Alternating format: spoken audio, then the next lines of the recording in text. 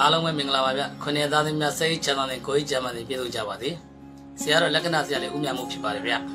အဲကျေးဇူးတင်သေးတရားမြင်တရားကြားတရားပေါ့ဒီနေရာမှာလက္ခဏာဆရာဥမြတ်မှုမှာရှင်းကိုကြောပါတယ်ကျေးဇူးရှင်တမင်းစရင်တယောက်စီတောင်းလဲလက္ခဏာဆရာဥမြတ်မှုဒီနေရာမှာရှင်းကိုကြောပါတယ်ဗျနော်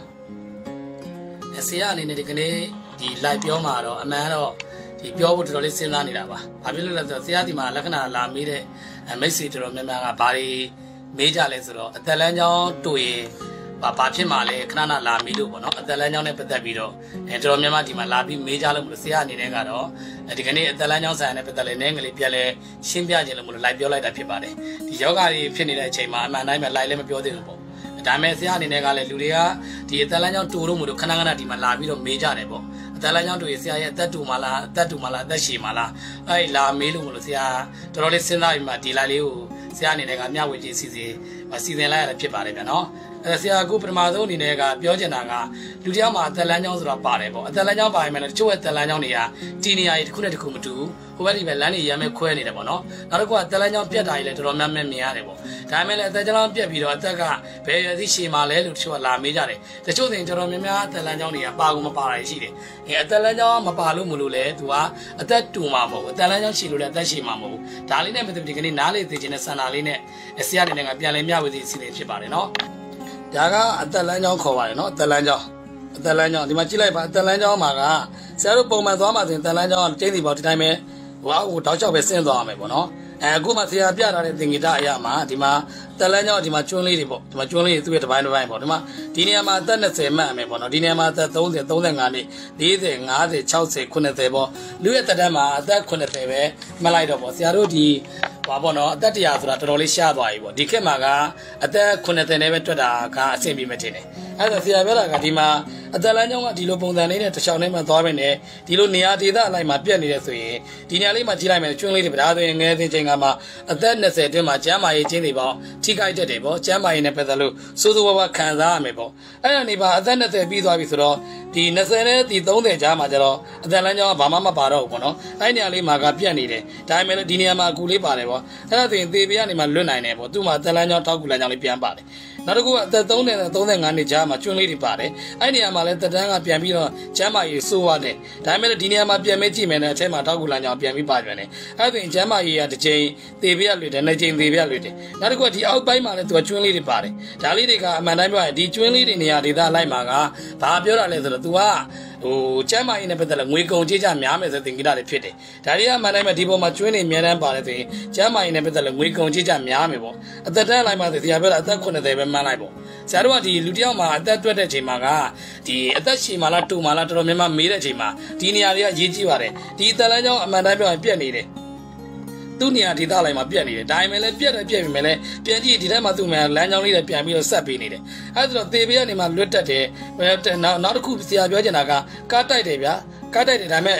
စေးုံစေးုံစီကန်တော့ရောက်သွားတယ်ကျိုးလို့ကန်လို့အသက်တော့မသိဘူးပြန်ရှင်းလာတယ်ပေါ့ဒါတစ်ချိန်လွတ်တယ်ဒီနေရာမှာလည်းလိုပဲတခုခုအန်ဒီရဖြစ်တယ်ဒါပေမဲ့လည်းအသက်အန်ဒီရတော့စီးကိုင်းနိုင်တယ်ဒါပေမဲ့လည်းအသက်ကမသိဘူးပြန်ပြီးတော့လွတ်လာနိုင်တယ်ပေါ့ဒီလိုအနေထားတွေမှာပြောချင်တာဖြစ်တယ်ဒီမှာအသက်လမ်းကြောင်းမှာအဲ့လိုလေးတွေပေါ့အသက်လမ်းကြောင်းပြက်လို့မလို့အသက်တူမှာမဟုတ်ဆရာပြောပြတာကရှင်းရှင်းလေးပဲလူတွေကအသက်တူမှာလားခဏခဏလာမေးနောက်တစ်ခုပေါ့နော်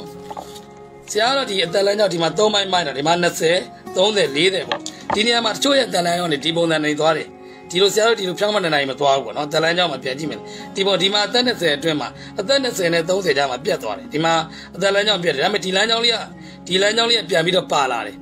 ပြန်ကြည့်လိုက်ပါနော်တေချာလေးကြည့်ပါဒါတွေကအမှန်တိုင်းပြောရင်ဒီလိုပေါ့နော်ကိုယ့်ရဲ့ဒီအသက်လမ်းကြောင်းကိုကြားကြနာနာပြန်ပြီးကြည့်မယ်ဆိုရင်နားလည်မယ်ထင်ပါတယ်ဒီနေရာမှာအသက်လမ်းကြောင်းအသက်20အတွင်းမှာအသက်လမ်းကြောင်းပြတ်သွားတယ် 20နဲ့30ကြားမှာပြတ်တော့ဒီနေရာမှာဒီဘက်မှာလမ်းခွဲလေးတစ်ခုပြန်ပါလာတယ်အဲ့ဒါဆိုရင်အသက်20နဲ့30ကြားမှာဒါမှမဟုတ်ရင်25နှစ်ကနေ30ကြားမှာတေပြီးတွေ့တတ်တယ်တေပြီးတွေ့ပြီမဲ့လည်းကျင်းနေပါအသက်အနေရနေမှာလွတ်နိုင်တယ်ပေါ့ ပြောရရင်တော့ငွေကုန်ကြေးကြများမယ်အသက်အန္တရာယ်ထိခိုက်နိုင်မယ်စေုပ်စေကနေသေတော့မယ်လို့အားလုံးကထင်ပြီးမှအသက်မသေးဘဲနဲ့ပြန်ပြီးရှင်းနိုင်တယ်ပေါ့ဒီလိုသူ့ရဲ့လမ်းကြောင်းလေးတွေပါရပေါ့နောက်တစ်ခုကဒီမှာ30နဲ့40ကြာဒီမှာဒီဟာဆရာအောက်မှာ80တွက်လိုက်တော့ပေါ့ဒီအောက်မှာဒီလိုလေးပြန်ကြည့်မယ်ဆိုရင်ဒီနေရာမှာအသက်လမ်းကြောင်းကဒီမှာလုံးဝကွဲသွားပြန်ပြီအောက်ထဲမှာဒီမှာဝင်သွားပြန်ပြီပေါ့သူကလည်းသူ့ရဲ့ဒေတာအလိုက်မှာဒီလမ်းကြောင်းလေးတွေကဒေတာအလိုက်မှာပါတိုင်းပါတိုင်းကအများတမ်းပဲအသက်အန္တရာယ်နဲ့ပတ်သက်ရင်လွတ်နိုင်တယ်လွတ်တတ်တယ်ပေါ့ ဒီလိုအနေထားလေးတွေမှရှိတယ်အဲဆရာပြောချင်တဲ့အတိုင်းတာကအသက်လမ်းကြောင်းဒီလိုတွေပြက်လို့မလို့အသက်တူမှာအဲ့လိုမဟုတ်ဘူးပေါ့အသက်လမ်းကြောင်းပြက်တယ်ဆိုတာအမှန်တမ်းပြောရင်ပြက်သွားတယ်ပေါ့နော်တကြလောပြက်သွားတယ်ဒီဘက်မှာလည်းဘာမှမပါဘူးအဲ့လိုအနေထားမှာအဓိကဘာသာတရားထားလို့ရမယ်ပေါ့အရေးကြီးဆုံးချက်တွေပေါ့သူကအသက်လမ်းကြောင်းတွေကဒီလိုပြက်တာတွေများတယ်ဆိုရင်နံပါတ်1ကဘာသာတရားထားလို့မှအဆင်ပြေမယ်ဘာသာတရားမလို့ဘူးဆိုရင်အဲ့ကအာကုစီတွေအချိန်ပြေးရောက်လာနိုင်တယ်ရောက်တတ်တယ်ပေါ့ဒီအနေထားမှာပြောတာပြောချင်တာဖြစ်တယ်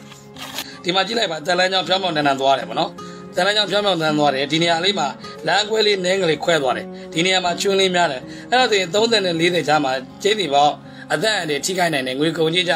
များတယ်ကျမ်းမာရေးမကောင်းဘူးပေါ့အဲ40အနေမှာ90ကြားမှာပြန်ကြည့်လိုက်အသက်အန္တရာယ်ဘာမှထိမိခိုင်းမိတာမရှိမယ်လေ90 60ပေါ့90 60 90အဲ့က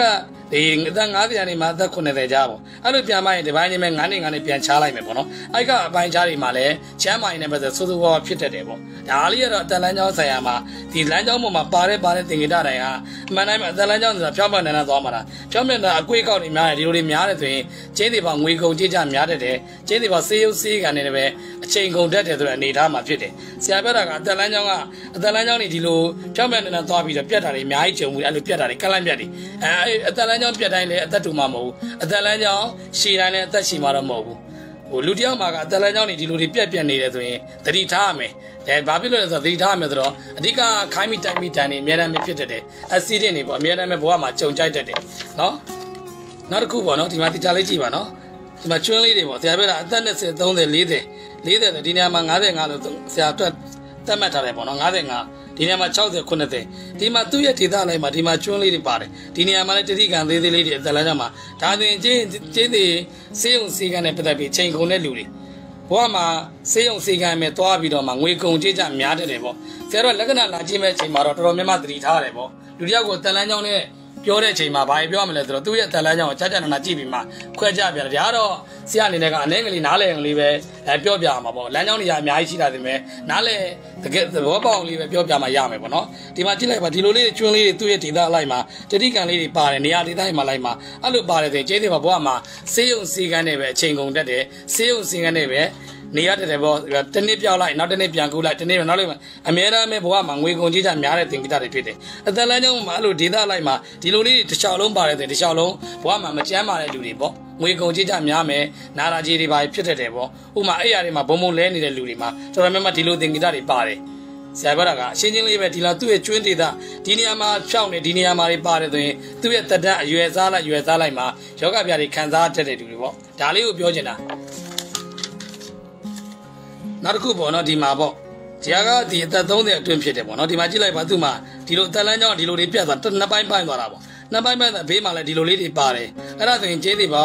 အသက်30အတွင်းမှာသေတတ်တဲ့ကံပါတယ်ဒါပေမဲ့လည်းအသက်30ထဲမှာသေတတ်တဲ့ကံပါပေမဲ့လည်းကံရရဲ့ကုညီမသားမှုကြောင့်ကျေးဇူးပါအသက်အန္တရာယ်ကနေပြီးတော့လွတ်လာနိုင်တယ်ပေါ့ငွေကုန်ကြေးကြတာများတယ်အသက်အန္တရာယ်လွတ်လာနိုင်တယ်ပေါ့ဒီအနေထားကိုပြောချင်တာဖြစ်တယ်ဆရာဘက်ကအသက်လမ်းကြောင်းအဖြောင်းမြောင်းနေတယ်သွားမှာလားဖြောင်းမြောင်းနေတယ်မသွားဘဲနဲ့ဒီလိုတွေပြက်တယ်ပြက်တယ်နေရာတွေကပြက်တယ်တင်တော့ကျမ်းမာရဲ့ချူချတဲ့ရုတ်တရက်အဆီဒင့်တွေခိုင်းမိတိုင်းမိတန်းတွေအများကြီးဖြစ်တတ်တယ်ပေါ့အဓိကကတော့သေတတ်တယ်ပေါ့ဒါပေမဲ့သေတော့သေတတ်ပြီမလဲကျေးသေးပါပြန်မဲ့ကြည့်ရင်ဒီလိုအသက်လမ်းကြောင်းအခွဲလေးတွေဒီဘေးမှာအတွင်းထဲမှာအဲ့လိုလမ်းကြောင်းလေးတွေကပြန်မှန်ပြီးအဝိုင်လေးတွေပါလာရင်တော့အသက်အနေကြားလွတ်နိုင်တယ်လွတ်တတ်တယ်ဒီအနေထားမှာပြောချင်တာဖြစ်တယ်ဆရာပြောချင်တာက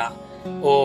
ကိုယ်လက်မှာပြန်ကြည့်လိုက်ပါအသက်လမ်းကြောင်းဖြောပြန့်တန်းတန်းသွားတာလားဒါမှမဟုတ်ဖြောပြန့်တန်းတန်းမသွားဘဲနဲ့အကွေးကောက်တွေများနေရလားပေါ့အဲ့လိုနေသားမှာပြန်ကြည့်လိုက်မယ်ဆိုရင်အကွေးကောက်တွေများနေမယ်ဆိုရင်တော့ချမ်းမာရေးဆိုးရတဲ့တယ်ပေါ့အသက်လမ်းကြောင်းသို့မိဒီမှာအဓိကတစ်ကြောင်နဲ့သွားရမယ်ပေါ့ဒီအသက်လမ်းကြောင်းနဲ့မိဒီမှာအဓိကဒီလိုတစ်ကြောင်နဲ့သွားရမယ်တစ်ကြောင်နဲ့သွားရမယ်ကောက်ရင်ကောက်ပါသေးတော့နှစ်ကြောင်းတိုက်ရင်နှစ်ကြောင်းတိုက်ရင်အသက်ကနှစ်ချင်းနဲ့ကလွတ်တတ်တယ် သုံးကြောင်းတိုက်ရင်သုံးချင်းသုံးကလွတ်တတ်တယ်ဒီဘေးလေးမှာသူ့ရဲ့လမ်းခွဲလေးတွေပါရင်ပါသလောက်အသက်အန္တရာယ်ထိမိခိုင်းမိတဲ့တရားကအဲဘာဘာရှိပေမဲ့လည်းသေဘေးကကြုံခဲ့မယ်လဲအချိန်ချင်းခါခါလွတ်တက်တယ်ဆိုတဲ့အနေအထားမှာရှိတယ်ဆရာဘက်ကကတော့ဒီလက္ခဏာလာကြည့်တဲ့အချိန်မှာတော့လူတယောက်မှာကြာကြာနာနာအသက်လမ်းကြောင်းခွဲရတာပေါ့ဒါကတော့ဒီပေါ်မှာဆိုတော့အနေငယ်နားလေနားလေဘာလောက်လေးပဲပြောပြတာဖြစ်ပါတယ်နော် အသက်လမ်းကြောင်းပြန်ကြည့်မယ်ဆိုရင်အသက်လမ်းကြောင်းဒီလိုဖြောင်းမောင်နေနေသွားမှာလားဖြောင်းမောင်နေနေမသွားဘဲနဲ့သူ့နေရာဒေသတိုင်းမှာပြက်ပြက်နေပြီဆိုရင်အဲ့ပြက်တဲ့ဒေသနေရာဒေသအလိုက်မှာအနေငယ်လေးချမ်းမာရေးချူချတဲ့ရုပ်တရက်အဆီဒတွေပါကန်နေကြုံတတ်တယ်ဒီလိုအနေထားကိုပြောချင်တာဖြစ်တယ်လူလူတယောက်မှာအသက်လန်းကြောင်းလူတိုင်းပါတယ်လူတိုင်းပါမယ်လေတချို့ရဲ့သက်လန်းကြောင်းတွေကကျွင်းနေများတယ်တချို့သက်လန်းကြောင်းတွေကလိုင်းနေပေါ့လိုင်းနေတချို့သက်လန်းပြက်တာတွေအခက်လန်းပြက်တွေပြက်တာတွေများတယ်အသက်လန်းကြောင်းမှာအများအားပဲဒီလိုပေါ့နော်လိုင်းလေးတွေတွင့်တာတို့ ကလန်းပြက်ဖြတ်တာတို့အနေတိုင်းမှာဆိုရင်ကျင်းတွေပါသူ့ရဲ့သက်သက်တွေကနေရာဒေသအလိုက်မှာချမ်းမာရေးစုစုပေါင်းဖြစ်တယ်နောက်တစ်ခုကအဆီနိကန်တွေသေပေးရနေခဏခဏကြုံတတ်တယ်အထက်ထဲမှာအတွင်လေးတွေပါတယ်ဆိုရင်တော့ပြန်ပြီးတော့လိုင်းလေးတွေပြန်ပါတယ်ဆိုရင်တော့ကျင်းတွေပါအသက်အန္တရာယ်ကြားနေမှာလွတ်တတ်တယ်ဒီအနေထားမှာပြောချင်တာဖြစ်တယ်ဟိုလူတရားမှာလက္ခဏာလာကြည့်တဲ့ချိန်မှာအသက်လမ်းကြောင်းအရေးကြီးပါတယ်တချို့ဆိုရင်ကျမ်းမာရေးမကောင်းလို့မလို့လာမေးတဲ့လူတွေတော်တော်များများအခုနောက်ပိုင်းမှာတွေ့ကြရတယ်ပေါ့နော်အဲဒါဆိုသူတို့တန်လမ်းကြောင်းတွေကြီးလိုက်မယ်ဆိုရင်ကျမ်းမာရေးစိုးရနေမယ်အသက်သေးတဲ့ကဏ္ဍမှာမရှိလို့မလို့အသက်မသေးဘူးလို့ပဲဟောခဲ့တာတော်တော်များတယ်ဒါမဲ့ဆရာတို့တွေသေမယ်ဆိုရင်တော့သေမယ်လို့တော့မဟုတ်ဘူးပေါ့35နှစ်မှာသေမယ်လူတော့ကို34နှစ်ကနေစပြီးတတိထားပါဒီလောက်ပဲပြောပြောပါတယ်ဖြစ်ပဲတိနဲ့လည်းပြောလို့မကောင်းလေမြတ်စွာဘုရားရှင်တော်မှာသေမဲ့နေကိုအတိအကျမဟောခိုင်းဘူးပေါ့ဆရာတို့ကလည်းပညာအနေနဲ့လည်းနှုတ်နေတယ်လူကလည်းငရဲသေးငရဲသူပဲစီတယ်ဆိုတော့အရင်ကြီးပဲခေါ်လို့မရသေးဘူးပေါ့မြင်တာမြင်တော့မြင်မြင်ပဲလဲအဲအလုံးစုံကြီးဒိဋ္ဌဓမ္မကြီးပေါ့နော်အဲ့လိုသွားပြောလို့တော့မရဘူးအဲဒါကြောင့်မို့လို့ ဟိုဒီလောက်ပါပဲဒီကနေ့တော့ကျေးဇူးတင်ပါတယ်နော်အားလုံးခွင့်နေသားတွေစိတ်ချမ်းသာကိုယ်ချမ်းသာနဲ့ပြည့်စုံကြပါလိမ့်မယ်နော်